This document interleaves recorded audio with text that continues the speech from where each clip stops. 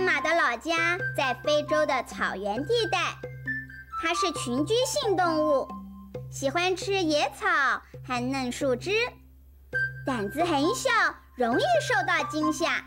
不过它感觉灵敏，而且奔跑的速度很快。这些啊，都是斑马逃避敌害的法宝哦。当它快速奔逃的时候，每小时的速度可以高达七十公里哦。斑马另外还有一个保护自己的最重要法宝，那就是它身上黑白相间的斑纹了。不同的斑马身上有不同的斑纹，在树丛中，还有阳光照射下。或是在月光下，这些斑纹会分散，模糊了它们的身体轮廓。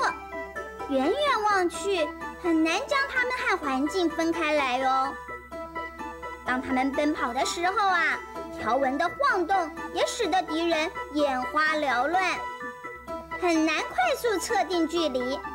斑马就趁着这个时候安全逃脱了。